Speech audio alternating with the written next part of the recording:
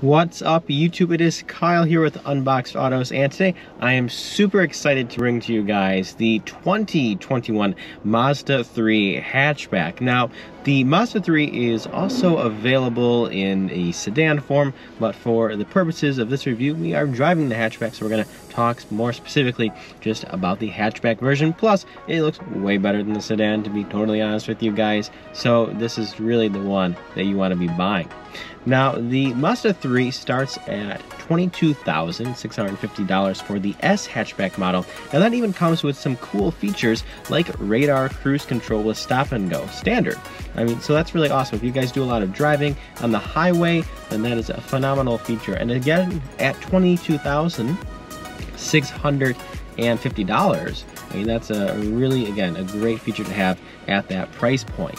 Now, that comes with the standard 2.5 liter uh, normally aspirated engine, makes 186 horsepower and 186 pounds of torque.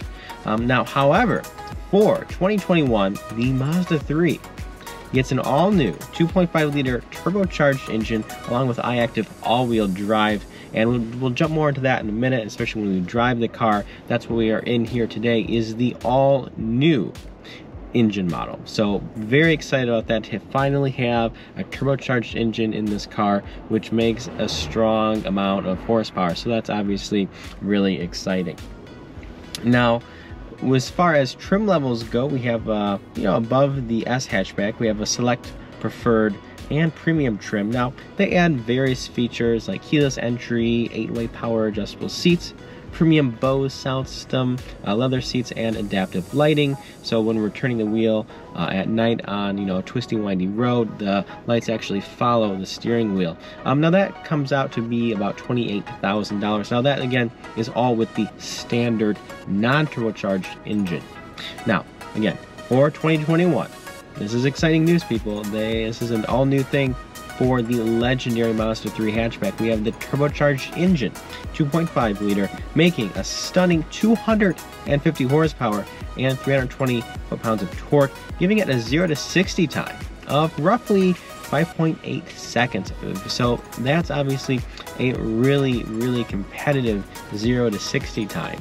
And it comes with, you know, all sorts of other great features that you would, you know, come to know and love in a, a, modern day vehicle, such as, you know, advanced parking sensors, a 360 degree view camera. So you have all of that functionality, all of that technology at your fingertips here in the 2021 Mazda 3.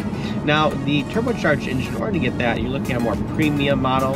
Um, it starts at about $31,000. Now, if you ask me, obviously that's totally worth the cost. I mean, when you step into the Mazda 3, you need to stop and think for a second. You, am I in a luxury vehicle? Or am I in, uh, you know, a $30,000 car? Because it is that good that uh, you need to stop and look. Like, am I in an Audi? Am I in a BMW? No, no, you are in a Mazda actually. And especially, you know, there's one thing, it looks nice, it feels good, which is obviously phenomenal at this price point. But when you get behind the wheel of, say, you know, a BMW, it's it's a great driving experience. You know, when you get behind the wheel of, say, you know, a Honda Civic entry level, or even, you know, a, um, a Hyundai Elantra or something like that, they drive good, uh, but it doesn't blow you away from a, you know a driving perspective. Now, when you jump into the Mazda 3, it's it's hard to mistake it for anything other than uh, you know a German sporty via sporty German vehicle, especially with this engine. Before the old engine, yeah, it was 186 horsepower, 186 foot-pounds of torque. Not obviously a ton of power. Um, it felt okay. It felt barely adequate, um, which is, you know, again, people buying a base Mazda 3 for $25,000, they're not necessarily expecting or looking for a really exciting dynamic driving experience. But with, again, the new engine, 325 pounds of torque, 250 horsepower, those are some serious numbers, especially for a car that weighs as little as the Mazda 3 does. Now, the turbo engine only comes with all-wheel drive, which obviously makes sense. The Mazda 3 is normally a you know, front-wheel drive or all-wheel drive vehicle. It also comes uh, with an optional um, manual transmission. I say it's actually um, obviously not optional, it's standard, um, but you need to jump up uh, to a few of the higher trim levels, and it's only available currently on the lower engine level. But you know, the manual is still obviously a really fun, uh, really fun, you know, feature to have if you're really into you know driving sporty. The six-speed though that's in this car is really it's really quite good. Um, you know a lot of people are doing eight speeds, but there's not really a big need um, right now for an eight-speed in the Mazda 3. I'm sure eventually it will happen, but honestly, guys, for right now. Um, the six speed does a great job, still gets really good fuel economy, you know, around 30, 32 miles to the gallon on the highway. I'm getting around 20 around town, 22. You know, again, with the turbocharged engine that we are uh, in here today. Now, as far as exterior styling goes, which is obviously a very important point of any vehicle purchase, the 3 hatchback looks just stunning. I mean, we have the very, very beautiful hatch, right? I mean, and just the, the curves, the lines on this vehicle are absolutely out of this world. Especially love the rear tail lamps, the circular tail lamps, LEDs, very crisp, very clean lines. Um, this looks absolutely breathtaking. The front, the front's a very great look too, especially on this fully loaded model. This is the top trim level for the turbo. It's about, I think it's about $1,500 additional cost up from the uh, regular turbo, which is around 31. I believe this is around 33,600 for this one. Now, what you get with that is the upgraded air dam. So we get a front blacked out air dam. We also get a large rear blacked out spoiler, um, which is really nifty. And we get the 360 degree view camera system, which obviously, you know, always nice to have. You know, for a car of this size, it's really honestly pretty easy to park. Um, but you know, again, it never it never hurts to um, have extra functionality when you know trying to park a car in, in tight spaces. Obviously, we're talking about the dynamics of this car. it's it's really you know so much fun to drive. Uh, you know, the old one was fun because it did such a good job as far as handling goes.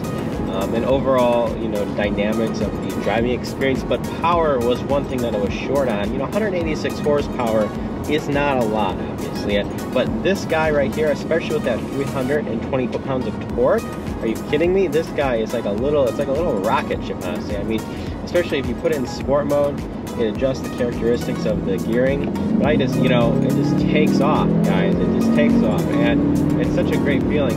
What a great range between that 3,500 and 5,500 RPMs gives you so much boost. And the transmission is, is really quite responsive. The steering super tight. The chassis just really on point, guys. I mean, really just, it's so much fun to drive. I could drive this thing all the time. And, you know, the price point again, I just want to hit home how much of a great value the Mazda 3 hatchback is, especially if you're looking for something with a little pep, a little performance. You don't want to, you know, maybe buy that $45,000 3 Series. You still want a nice car. I mean, talk about saving some money while still getting that nice driving experience. I mean, this is it right here, guys even just right there, popping it, you know, off that lovely, you know, 320 foot-pounds of torque just allows it to just really, you know, take off on you without really, you know, pushing the engine too hard. And, you know, if you want a little bit more fun and excitement, you can pop it into manual mode, do some shifting. Very quick shifts, very quick shifts. Very nice and impressive shifts. Shifting points on this guy. Again, it's a six speed. It's tried and true. It's very good. Pops down very easily. It's just a great, uh, great transmission. Great transmission. Does a nice, uh, you know, downshift. Uh, the one little thing that I, I would maybe change on this guy would uh, I would just give it a slightly louder exhaust. Uh, maybe even do a little bit of pop off right when you do a downshift. There's none of that right now. Um, it sounds like a four-cylinder engine. It's, it's, nothing crazy, but um, yeah, you can feel that turbo for sure. This really give you all that extra boost. It would also be cool to see a uh, PSI turbo boost gauge um, on there as well. We don't have that right now. That's okay. This being kind of a nice thing to have. But yeah, just you know, on the highway, winding roads. What a what a fun car. What a fun car to drive. So we've went ahead, we've talked about the exterior styling, how good that is. We've talked about the driving experience, the different engines available, different price points.